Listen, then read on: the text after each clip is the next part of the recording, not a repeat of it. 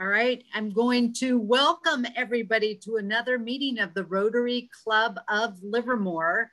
And uh, I ask everybody to just hold on tight today. We're going to mix things up uh, because our program presenters today need to get back to school. So we're going to start with the pledge and then jump forward to our presenters from um, Kids Teach Tech and then go back to the rest of our meeting. And I know all of you are very used to being flexible through this past year. So it's a skill set we've all developed.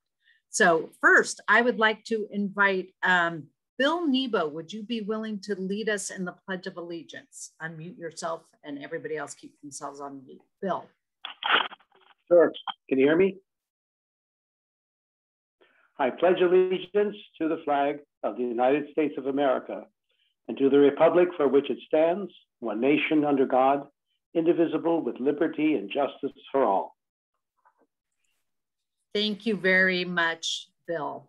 And now I'd like to invite our president-elect, Ken Perrine, to introduce today's program. Sorry about that, had to unmute. So it is my pleasure to introduce Arjun Mulchandani, founder and CEO of Kids Teach Tech. Kids Teach Tech is a recent recipient of a grant from the Rotarian Foundation of Livermore. Kids Teach Tech is a nonprofit organization that empowers youth to seize the technology opportunities of their future.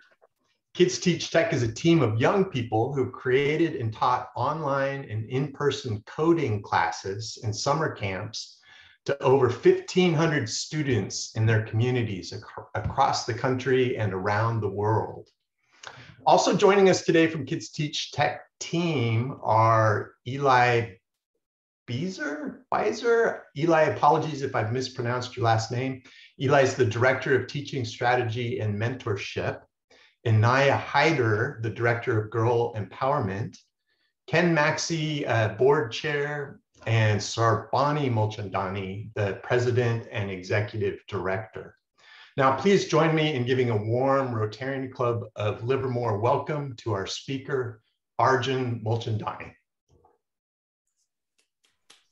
Thank you so much. Um, I'm actually going to quickly screen share because um, I'll be introducing Kids Teach Tech um, and sort of telling a bit of a story here. Um, again, thank you so much for inviting uh, me, Eli, and Anaya um, here to the Zoom session. I'm really, really honored.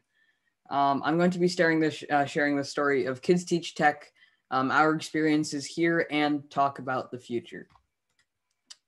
So, it all started three years ago when I was 10 years old, on the way to my favorite computer science class at UC Berkeley. I was arguing with my sister, as I usually do, um, and my mom, frustrated, says, Not only do I drive you so far, but this camp is really expensive. I was shocked to find out how much. I realized that less fortunate kids could not have the same camp I know I knew and loved and would not have the same opportunities in the future full of technology. I thought for a moment and then I said, I can teach them. I kept thinking about this over the next few days and I decided I was going to start a company, teach programming to kids that didn't have enough money to help them on a path to a better future. You might also be wondering why a company. Well, my dad was actually at Stanford at the time, and also he was talking all about starting companies and how to do it and giving people advice on it. So I thought, you know what? Wouldn't it be cool? So I stayed up late creating classes with lots of fun hands-on exercises to keep students engaged, and I got my first opportunity at Oakland Charter High School. After my second Python programming class overflowing with 35 students, two 14-year-old girls came to me and they said that tech was too hard for them and that they were going nowhere near it. With a 10-year-old standing in front of them, they had no excuse, and now they knew they could do it. This is when I realized I could truly help others and impact others, and Kids Teach Tech was born. So we have a pretty unique teaching model, and our teaching model is unique in a way because it in, it combines in-person teaching um, with sort of like a tutoring approach. Um, while one main teacher um, one lead teacher is standing in front of the classroom. Many teaching assistants are sort of gathered throughout the main students, helping them through and sort of giving them individual attention and making sure that they get the concept. So, especially with the amount of hands on we have in classes, this is really valuable. Next, we caught the attention of Andrew Peterson, who's the CIO of the City of Oakland. He gave us all the opportunities to teach at City Hall, invited the director of libraries, and she was very impressed, and invited us to teach at all libraries across Oakland. The director of Oakland Parks and Recreation also did the same, and were confirmed to be the sole technology partner for Oakland Parks and Recreation summer camps, but could not because of COVID 19. So, next, Andrew Peterson introduced us to Ken Maxey, who is here today, our chairman of the board. And he helped us establish partnerships with Comcast, Boys and Girls Club, Urban League, and Wente Foundation for the Arts. Ken also had Kids Teach Tech present to 2,000 mayors and city leaders across California at the League of Cities Conference in 2019. This all led to an amazing growth. Our Kids Teach Tech mission has evolved to empowering youth around the world to create and teach classes to their communities. By one year ago, we have taught over 50 classes to students. Then came COVID. Elila will talk more about our incredible pivot to online classes, but to sum it up, we experienced explosive growth and have now taught over 150 classes and full time summer camps to over 3,000 students in Oakland, the Bay Area, the United States, and internationally. We've been teaching directly for schools in Oakland, New York, and now have certification programs and a group which we call Coder Club, where kids learn to code their own custom games and projects with us. So, I just quickly like to mention, I'm just going to be passing off to Eli right after I say this. Um, we have a, we have a team of 50 amazing kids dedicated from all ages, um, and also leadership team of 12 senior members. And now I'm going to pass it off to Eli um, to just say a bit about our transition to online learning. Okay. Um, well, thank you, Arjun. Um, that was great as always. Um, so my name is Eli. Um, I'll turn my video on. Um, hi, uh, I'm Eli. I'm 14 years old. Um, and sorry if there's like a noise in the background. I don't know what that is. Um, but yeah. Anyway, um, yeah, I'm going to talk a little bit about my experience with Teach Tech, um, as well as um, our um, journey um, to online learning. So here goes. All right. Teach Tech is an organization that allows kids of all ages to teach and learn from their fellow kids. It is an organization that strives to level the playing field in technological studies through free camps, classes, and more. As someone who has been a part of the team for two years now, I want to tell you my look into this inspiring organization. And in order to have a complete perspective, I want to start from the beginning. In the summer of 2019, my father hosted his yearly exchange program that brought college students from Tohoku, Japan, um, to Berkeley to learn about youth engagement in local community. Every year, they have a speaker that comes to talk about their way of going about this. And last year, my father chose Arjun. He invited me sorry, there's some noise in the background. Um, he invited me to come to the speech that Arjun was giving and told me a bit about his teach tech. I was curious and decided to attend. The talk was held in one of UC Berkeley's lecture halls, and I could remember distinctly seeing a kid walk up on stage in front of a hundred plus college age students and deliver a powerful speech about his organization. A kid, someone my age. After that, I knew I had to join. As I look back on that day, I realized what made me so interested and excited about Kids Teach Tech. I was encouraged to join, of course, by the amazing mission, but what really enthralled me was how Arjun acted during the speech. I know it sounds strange, but by the way that he showed his drive and commitment to Kids Teach Tech and the level of professionalism in which he delivered the speech was honestly amazing to me. Through this year, I have seen Teach grow so much, I remember my first few in person classes, and I remember that fundamental connection between a kid and another kid. Like the rest of you, I also remember the day that I was told about a little thing called COVID 19. Kids Teach hit an incredible boundary that day. We could no longer hold our classes. Our summit was canceled. It really did seem like there was no way out. However, through that incredible commitment that the entire team has, we turned this obstacle into a pole vault, launching Teach Tech into a new era of teaching, where we are able to reach so many kids from all over the world. Kids Teach Tech will continue to explore many paths for growth, and there are so many things that we've already done. To me, one of Kids Teach Tech's biggest strengths is our ability to implement our friend teaching method, to form connections with our students that are real, and that make them want to keep taking our classes or even join our organization. In fact, we've had a huge flux in new members. And in relation to this, we've created the KidTT Mentorship Program, which I have personally spearheaded. We look to help our newer members of KidTT Tech feel engaged and find their place in our organization. And so far, we have had vast successes. All in all, I think KidTeach Tech is going to be always and forever this group of committed kids that want to help people, growing more and more by the day. It will remain an organization that was so interesting to me the moment I heard about it.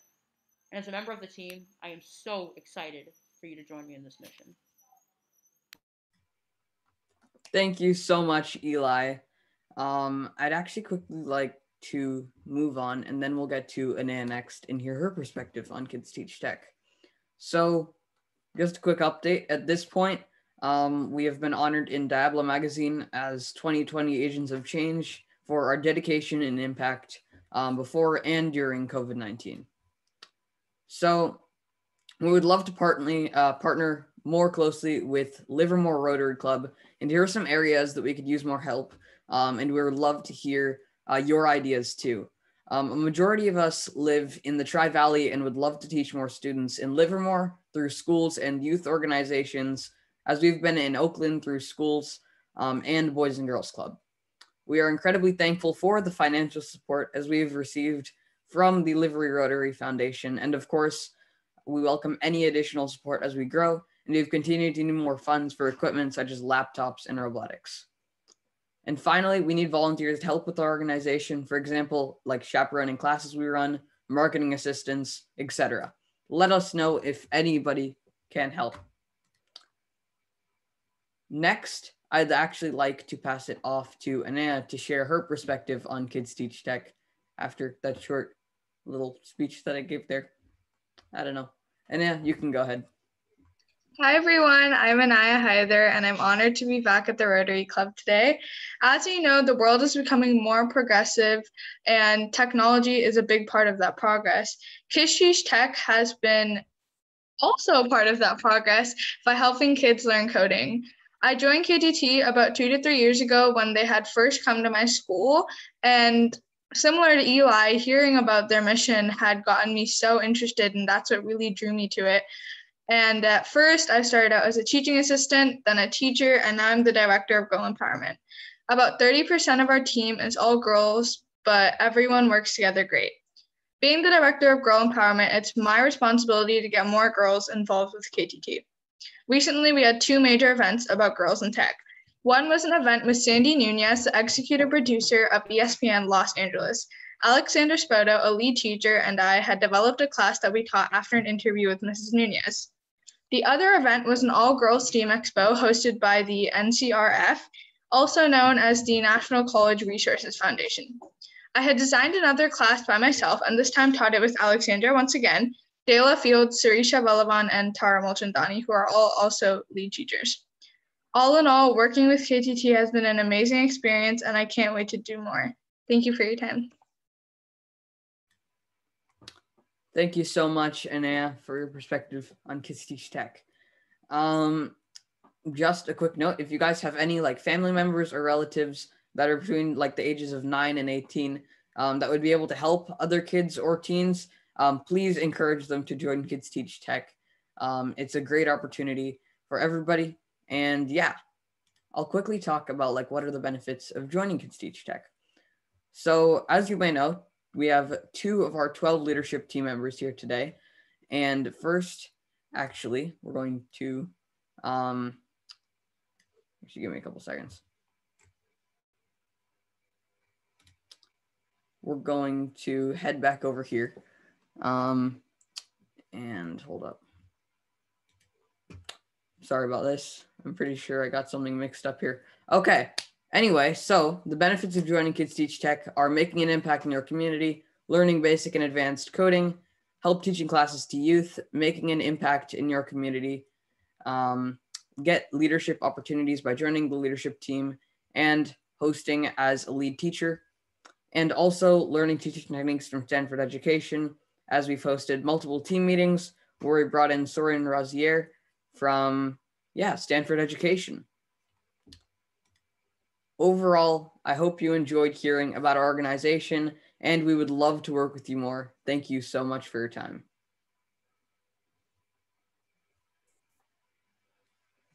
Arjun, do you have uh, time for just a couple questions if there are any? Sure. No, you guys have to yeah. get to class. Does anybody have any questions uh, for Arjun? Uh, Glenn, or you're clapping, uh, or did you have a question? I was just clapping. Great job, everybody. Okay. Fantastic. Inspirational. Yeah. Uh, Joel, you have a question.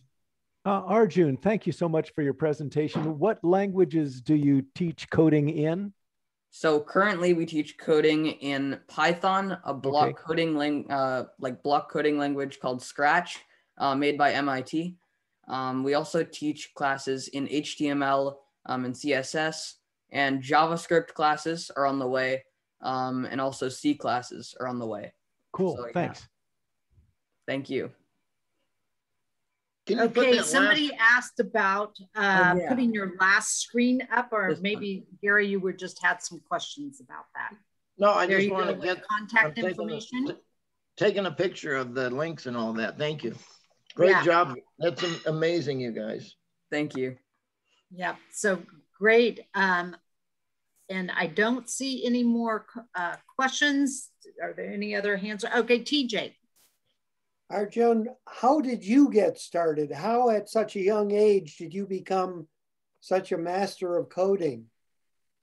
Well, actually, um, that's a funny story. I actually, as I mentioned before, um, I attended a bunch of coding camps um, in which I really tried to, like in a lot of the coding camps, um, I would just sort of follow along um, and try to absorb as much knowledge as I could. And in other camps, um, which I already knew what was happening since I sort of retook a few of the camps.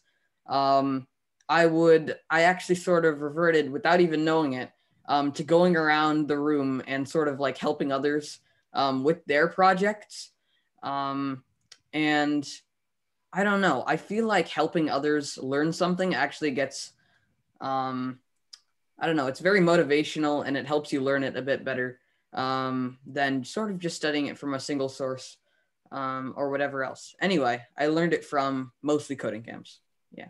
All right. So we have two more questions. We're going to go with Gordon first, followed by Splen. Gordon. Hi, great presentation. Apart from coding, do you cover other technology issues uh, for kids like uh, the dangers of social media and security concerns? Um, currently, we do not. Um, but as you can see uh, by our by our name, um, actually, it probably wasn't that obvious, but Kids Teach Tech um, is sort of going to grow um, into sort of more kids teach something opportunities. Um, and when, like, you know what, in, in terms of um, like a new kids teach domain, um, we could even cover safety. That's an amazing idea. Um, like kids teach safety, who knows? Uh, but currently, we do not actually cover um, like internet dangers, as I feel like schools do cover that a bit. Um, but that's actually an amazing idea for like a new range that we can cover. Yeah, so we currently do not, but we can. All right, and Splin, you have a question. Yeah, thank you, Carolyn. Arjun, um, I think I speak for everybody here that we're just amazed by you all. We're encouraged by you all. And if, you know, hopefully we can support you in the future, but you are missing on an incredible opportunity here. Uh, you know, you should have a nonprofit that goes kids teach tech to old Rotarians. And I think that that would be very much appreciated. Impossible okay. job, impossible. Thank you so much. Um, and yeah, also, might might be a, a revenue opportunity there. So um, I don't see any other hands up. So I would just echo that uh, what Splend said, we were all very inspired, uh, also inspired about just really a group of students coming together to share their passion and their knowledge with each other. Thank you for making uh, the world a better place in the way that you have. I know many of you have to get to school, so thank you very much for joining us today. And we'll reach out and people will reach out to you uh, to see how we can continue to partner with you. Cool. Also, I will look into, um, why don't we call it Rotarians in Tech? Amazing. All right. Thank you very much. Thank you. Bye. Bye-bye. All right. So now we'll flip back to our uh, regular meeting in order as we turned another meeting upside down and on its head. So, uh, Michael, do you have yes. an introduction to our song today? Sure, I'm not there, but uh, and so I didn't really contribute this. Well, I guess I did. I don't know. I will have to listen to it. You did. I, I, did. Okay, yeah. I, I take the word for it. So uh, let me introduce uh, um, teach your children because they will teach us, right? So here we go with with whatever Stu's going to push right now. Okay, let's see. One, two,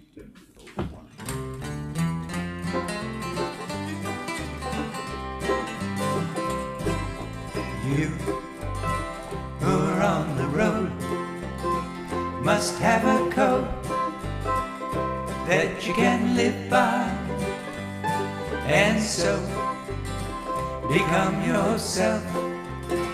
Because the past is just a goodbye. Teach your children well. Their father's slowly go by and feed them on your dreams. The one they fix, the one you'll know by. Don't you ever ask them why. If they told you, you would cry. So just look at them and sigh and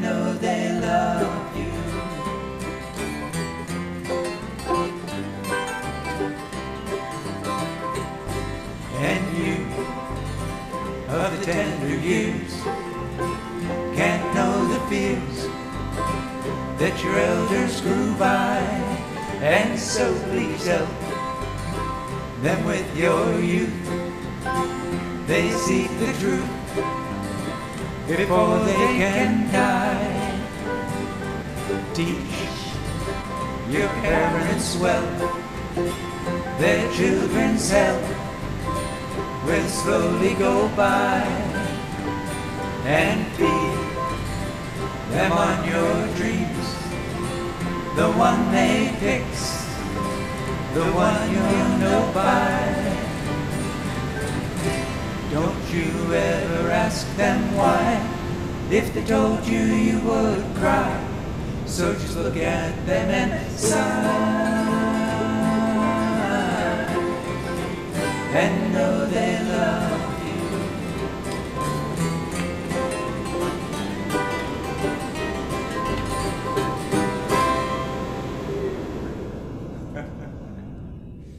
Well, thank you very much, Stu and Michael, for another wonderful song and another uh, perfect selection. Though I think you're right, they did a little today. The kids are doing the teaching. And so now I'd like to invite our longtime club member, and we're glad to have him back with us today, J.R. Romero, to share his thoughts of the day. J.R.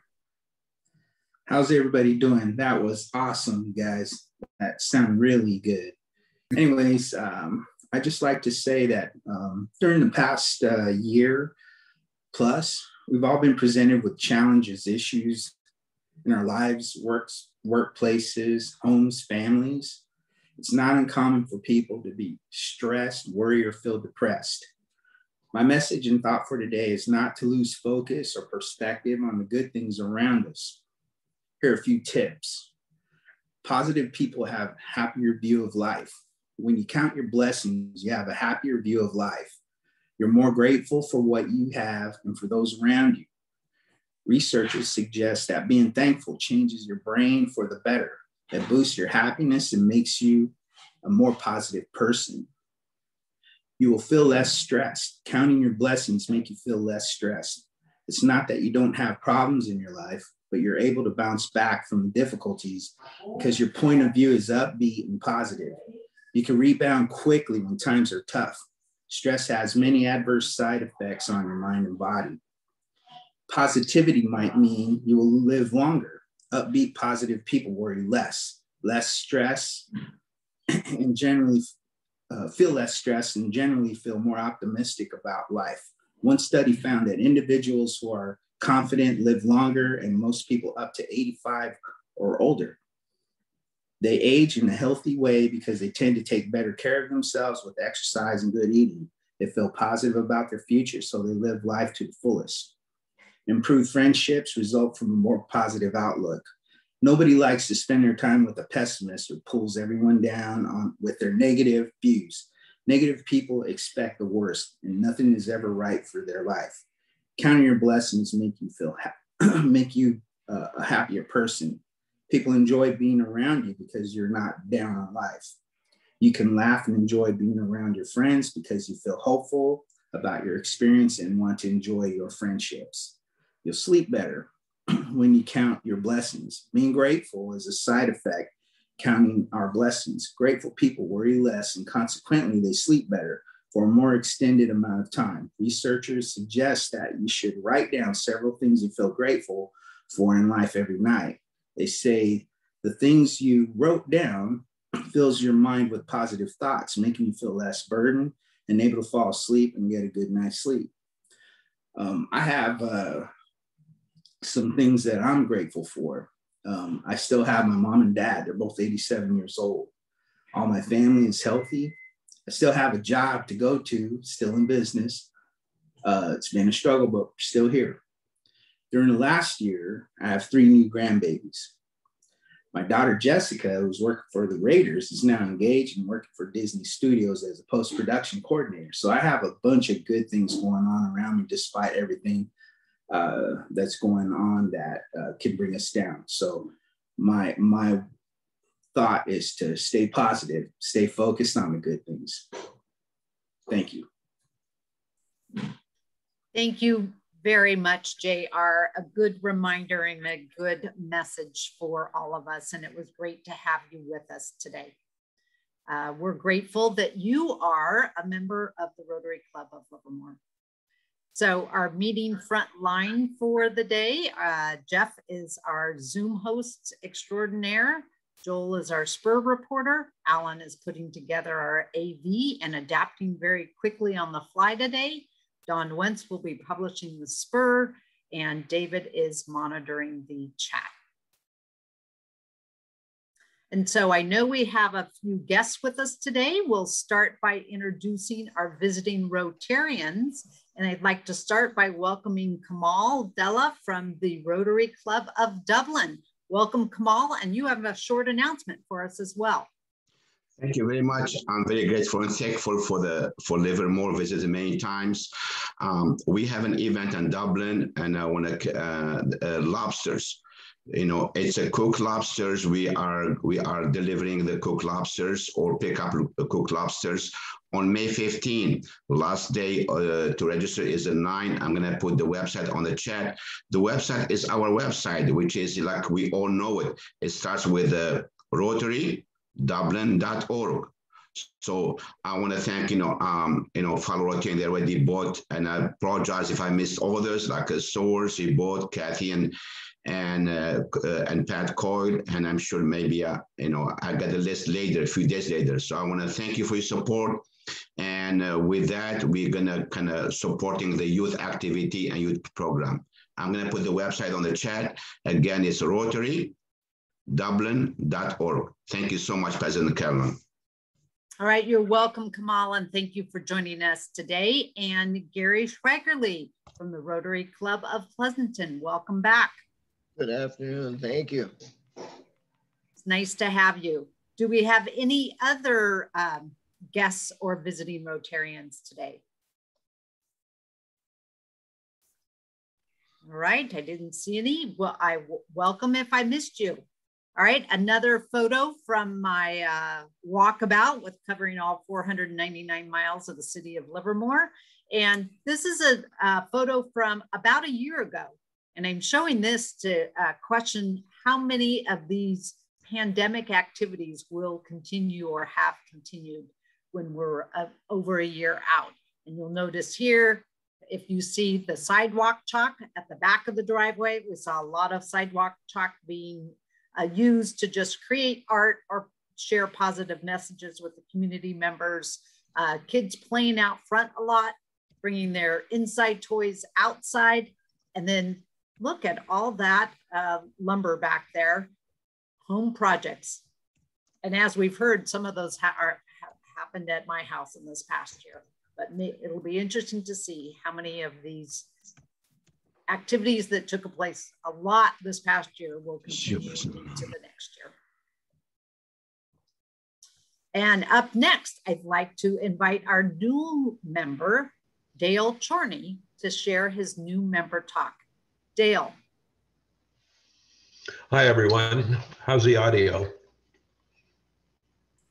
Audio's Perfect, good? Dale. It's good. It's good. Okay. Great. Well, thanks for uh, including me today.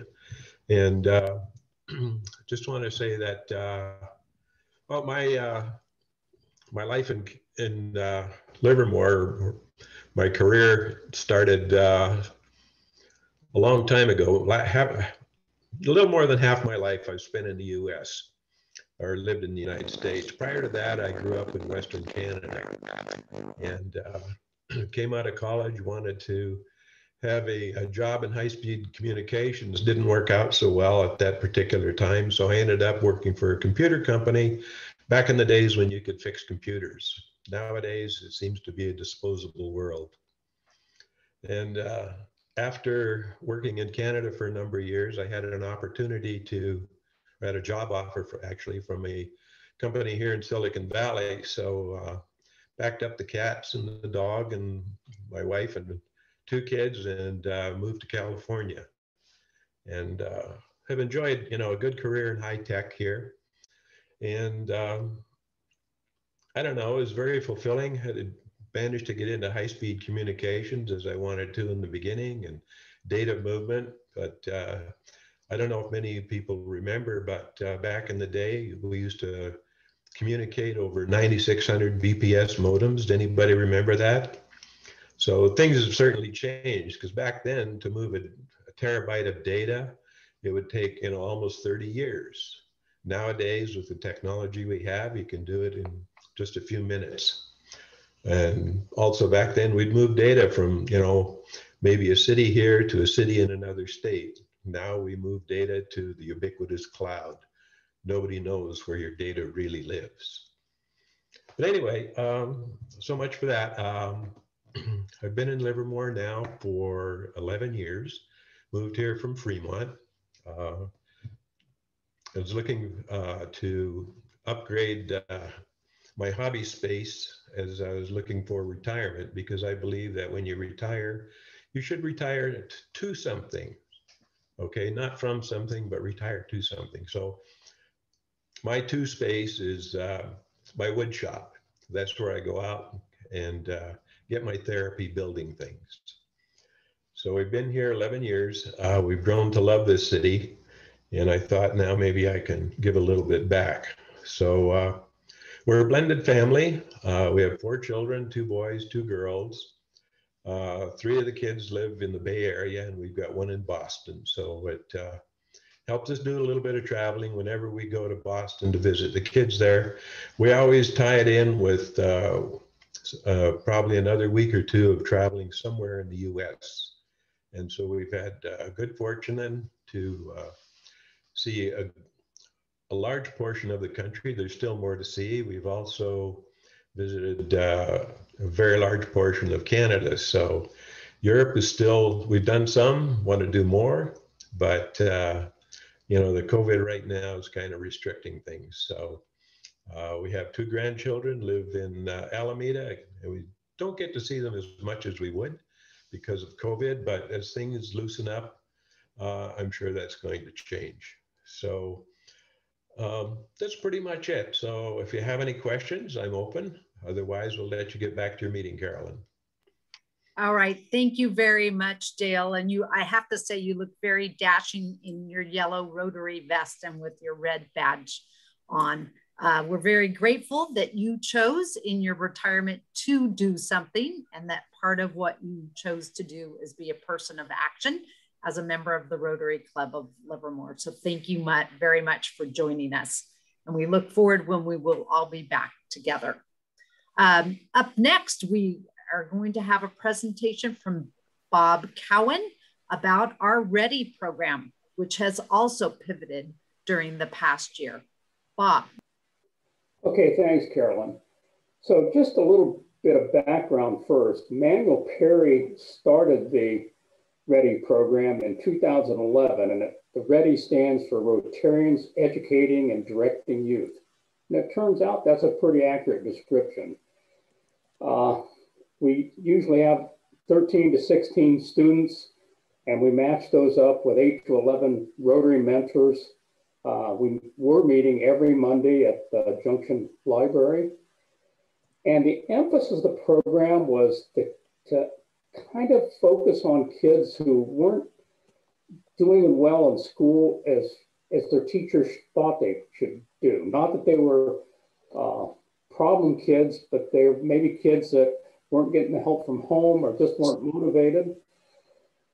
Of course, to do that, you have to talk a kid into coming to an after school session, a one hour after school session, which is, you know, maybe a little difficult after spending all day in school. I don't know how hot I'd have been for that. But usually we get some parental push. And also we had an incentive, and that's uh, we had four or five field trips each year. And these were pretty nice field trips. So the kids heard about this and, and, and we were able to get the, the, the kids that needed to come. And for example, I just want to tell you what some of the field trips were. Usually the first one of the year, we'd go to Sycamore Grove, have nature interpretation, and Beth usually uh, arranged that for us. And then after the nature talk and holding bobcat skins, etc., we'd hike up the top of uh, Cresta Blanca Hill, which is a pretty significant walk if you've never walked that far before.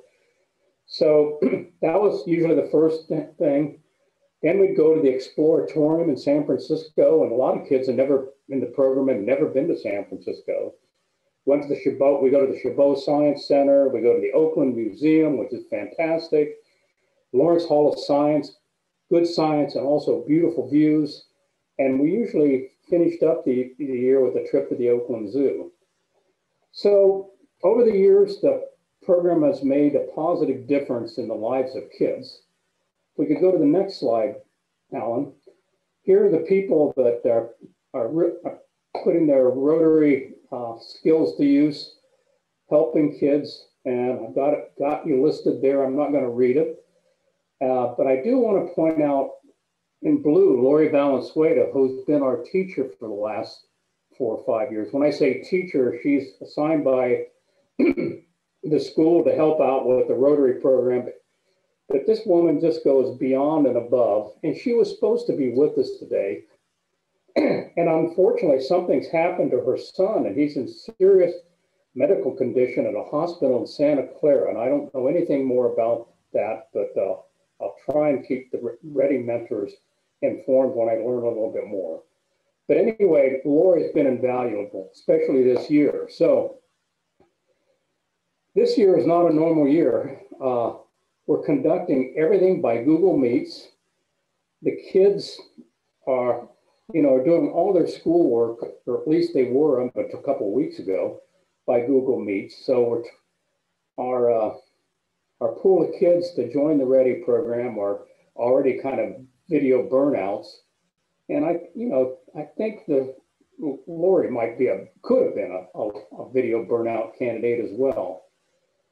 And on top of that, we mentors faced a real steep curve learning the interactive video of Google Meets, and we were pretty much humbled by how the kids were able to, to handle it. Uh, but we're learning, and we've, we've come a, a, a long way.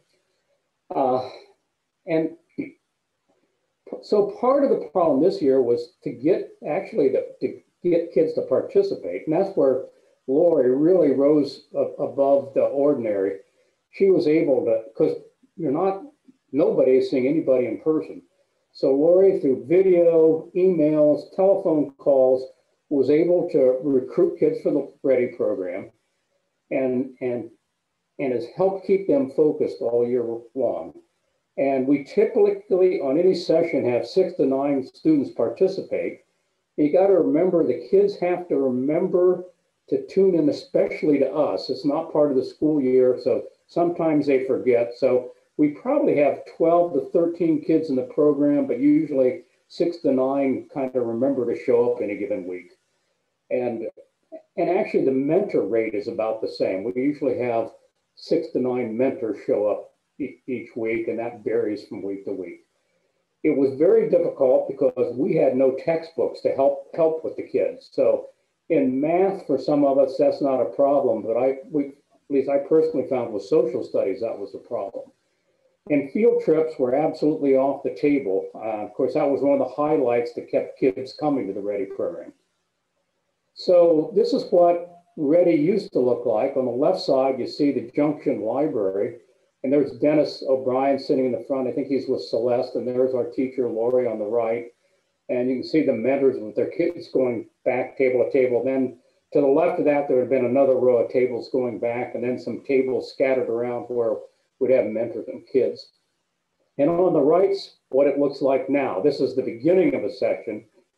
this was a couple weeks ago, and I took a screen grab, and uh, Lori, who's in the top middle, is explaining it's one of the kids' birthdays, and we're getting ready to, to, to sing to her. And then down in the bottom right, you see a little sign that indicates that kids joining in. So we wait, next slide. So the mentors, we're, the mentors usually pretty on time. The kids, not so much. And so we wait for the bell. The mentors are there usually five minutes before class, and you see us there. Aren't we a distinguished looking group? And you can see Lori, in, maybe in some frustration here. And the bell sounds, oh, I'm sorry. So as soon as the kids come in that are assigned to a given mentor, she takes, she does some magic with her computer and takes us to a breakout room. And the next slide shows a screenshot of me with Celeste, who's my student, in a breakout room. And on the left here, you can see the lesson sheet we're going over. Somehow she's used Google Meets to get her review assignment up, and, and we're going through uh, an assignment from social studies on the Middle Ages, of which I got to admit I wasn't that up to date with. Uh, she thought I might have lived in that area, I had, I had to correct her on that. One interesting fact, uh, this student is really a mature kid. She's an uh, excellent soccer player on a traveling team A couple of times during our sessions, I see her younger eight-year-old doing cartwheels behind, practicing for her, her gymnastic program that she's done. And then behind her, her baby brother hanging in a in some sort of swing, bouncing up and down. So you kind of understand the difficulty some of the kids had uh, doing their homework or concentrating on school during the, the regular sessions. Next slide since we couldn't do field trips, Lori said, hey, we have to have some fun to keep these kids engaged. So she came up with this online educational game called Kahoots. And it, it took us mentors a, a, a, while to figure out how to configure our computers to play the game. But here it shows us getting set up. We've got the secret number. We go to another website, type that in, and it brings up these questions and they're all educational.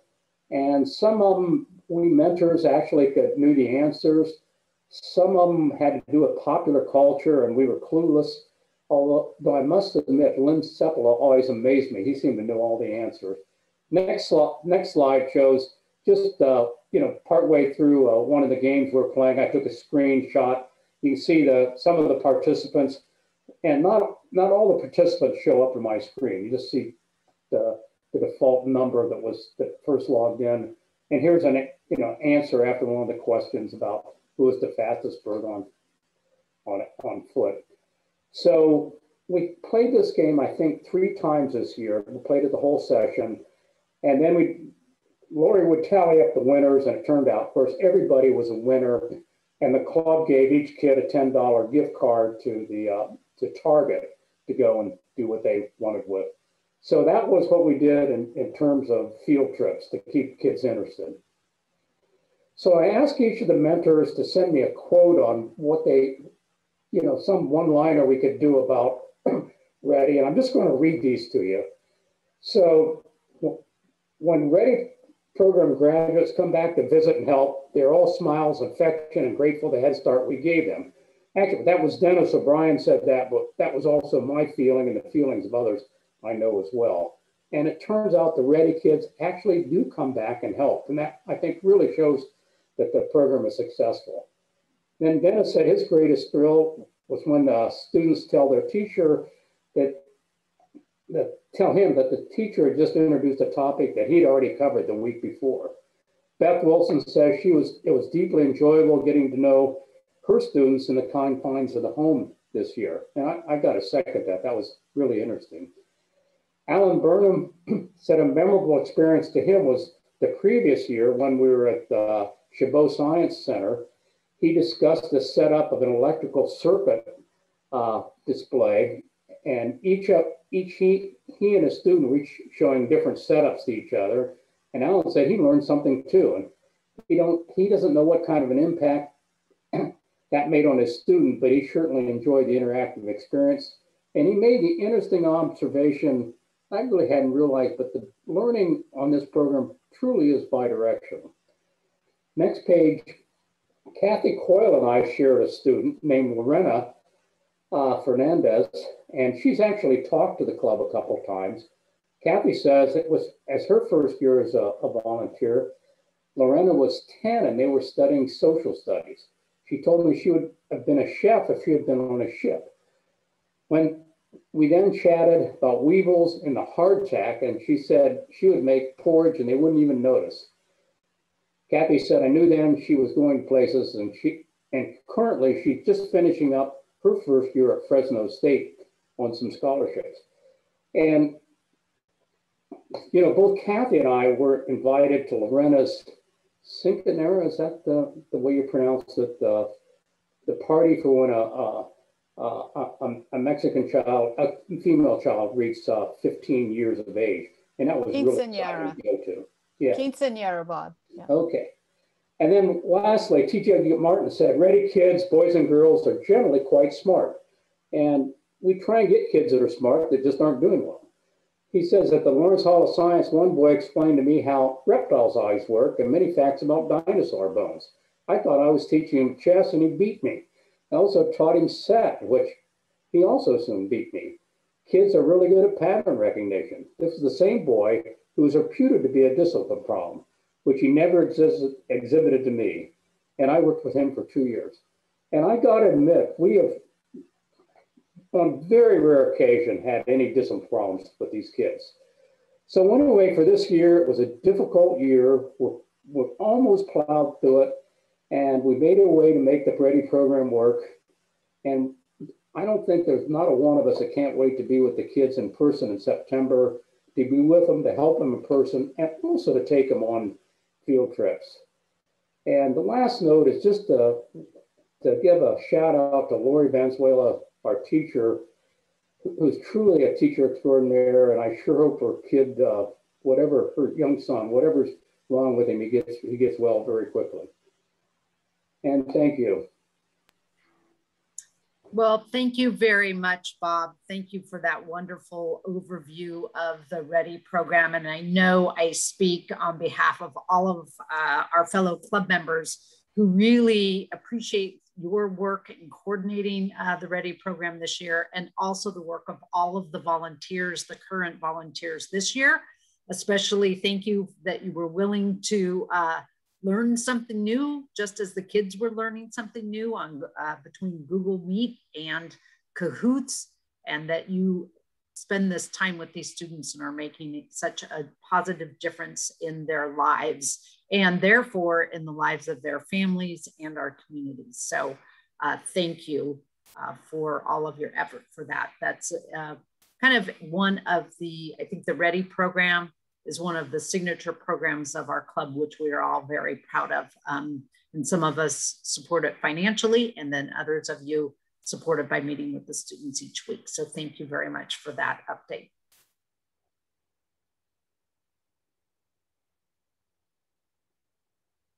Oh, and up next, and also to thank some Rotarians who uh, stepped up and said, uh, raised their hand. Uh, you'll recall last week I had a call for self nominations to serve on the board of the Rotarian Foundation of Livermore. As you all um, hopefully know or may recall, is that the Rotarian Foundation of Livermore board is made up of members from the two clubs in Livermore, both the morning and noon club, and three of our club members were terming out. So Norm Bregman, Lynn Seppala, and Jeff Youngsma, all three raised their hands uh, to serve on that board. And then next week, we will be doing uh, the election to elect them to serve in that cap capacity and continue to be uh, people of action um, as board members for the Rotarian Foundation of Livermore. So thank you, Norm, Lynn, and Jeff. And Dennis O'Brien, another one of our signature programs is our RAVE program at Las Positas College. So Dennis, you have an update for us. Thank you, President Carolyn. Um, yesterday, we partnered with the uh, Morning Club uh, to hold uh, our third Kick Off Your Career workshop for student veterans at Las Positas College. Um, this is the third uh, in the series, and uh, we focused on networking and resume writing and interviews. We had a wonderful testimonial from one of the, um, the student veterans who took this workshop last October and he used these skills that we covered to secure a, a position with uh, Congressman Swalwell's staff. It was really phenomenal. So I really want to uh, put a big thank you out to the, the people who were on the panel. Uh, Gordon Jones and Tim Berry from our club, Beth McCormick, Eric Dilly, and Deb Tacker from the Morning Club. Congratulations, they did a marvelous job. They have a lot of expertise to share. Thank you. Thank you for that update, Dennis. And as you can see, uh, our club members are people of action in many different ways. Uh, this is a save the date. You will recall that um, I shared the heartbreaking news that Rosemary Almond, a member of the Morning Club, who was um, planning to be president, the next president of the Rotarian Foundation of Livermore, passed away unexpectedly, and there will be a virtual memorial tribute to Rosemary next Wednesday, May 5th at 5 p.m. Um, and I'm sure Kathy Coyle will share that link with us for those of you who would like to uh, join that presentation. And just a reminder that the district training assembly is still in process. And so you're welcome to uh, join any of the meetings. This is a great way to find out what's happening at the district level. A number of our club members are doing presentations. Um, I'm facilitating a presentation tomorrow night on uh, virtual fundraising. And just a shout out to Kathy Coyle as the chair of this year's uh, district training assembly, who's doing a great job putting all the work together then uh, go on to our website or Kathy can put in the chat the link so that you can see directly all of the upcoming programs. And then also from the district site, get the Zoom link. You're encouraged to register, but it's not required. And you just click on the Zoom link for the session you'd like to attend. And up next week, another one of our programs. Wow, aren't you proud of everything that the Rotary Club of Livermore does? And another one of our programs is our music scholarships. The Music Scholarship Committee uh, did a lot of hard work and spent a lot of time listening to uh, submissions from talented young musicians and have um, selected the recipients for this year's music scholarships funded by our club.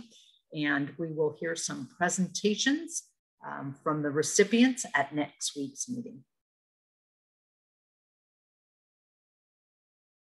So we are actually, even with our upside down meeting, uh, we are finished for the day.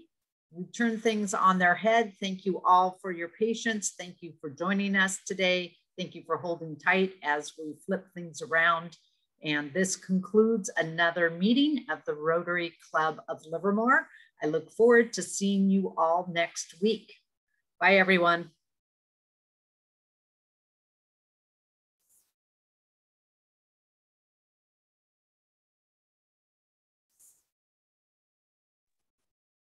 Super, super, super meeting. We have some very inspiring young students. Oh my God. They're... Yes, I guess the youngest teacher is eight. I didn't wow. even know all of those those coding languages. So yeah. and, and, they wow. can sure teach us a few things. Yeah. Yeah. yeah, that was great. Well, thanks to everybody. I'll see you later. Okay. Bye, Kathy. Okay. Bye. Yeah, I know Irv, Glenn, and I are going to stay on for a little while. We're going to try to take care of the presentation for uh, for for him. So, okay. but I will be stopping okay. the recording though. Okay. Great. Bye, everybody. Goodbye.